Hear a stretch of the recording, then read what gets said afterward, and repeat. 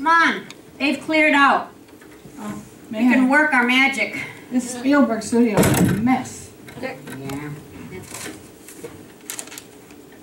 Maude, will you look at this? They expect us to make the new movie for hundred and fifty million dollars. But that's my Brad Pitt movie, Lucille. I'd like to have Brad Pitt in the movie too, but not if it's gonna cost us thirty million dollars. Now that's, let me see, roughly sixty-five percent of our profits.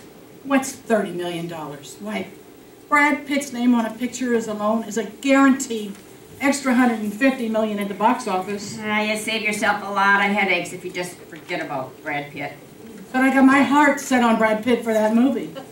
We can't afford Brad Pitt. Now, we were just up in accounting looking at the budget. And you know what? The money isn't there. Now, if you ask me, we're going to go 25 million over on this picture anyway, and that's the problem. Nobody asks me. Well, and they're never gonna learn either.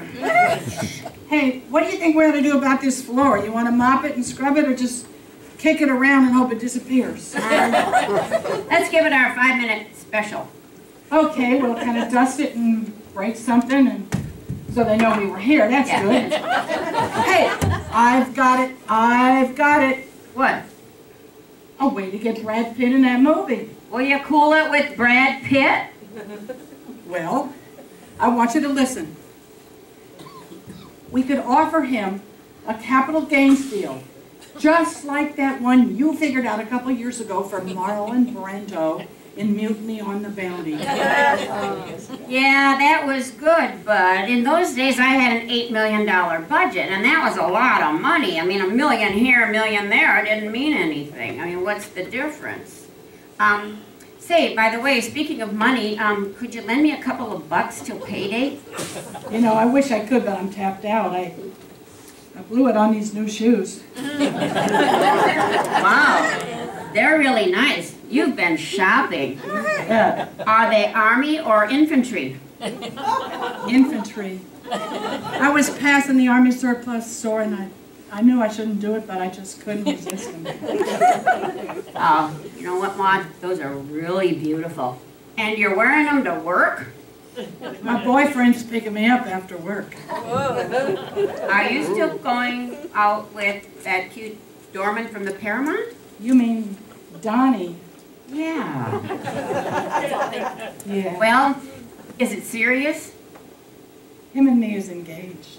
Oh, brother. Yeah, I know you don't approve. It's not that I don't approve of him, it's just that, well, you know how I feel about show business marriages. I mean, don't come crying to me when your careers clash. I know, and you're right.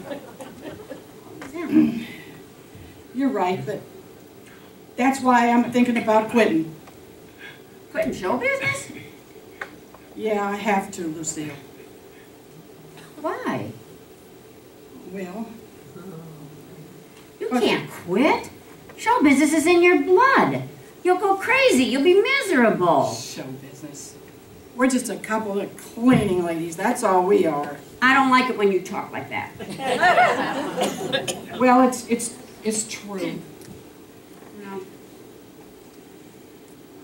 Bet you think we're not very important, too. And you know what? Remember, we're just as important as anybody in show business. And you know why? What? Well, because we got something special. What? Well, it's just that we think big. We dream big. This is something that makes us wheeler dealers and big time operators and sets us apart from the crowds. You mean it's just like one step up that ladder? Yeah, yeah, that ladder that takes us straight to the top. Yes, sir, you're right. Straight to the top. Yeah, and that's because we got chutzpah.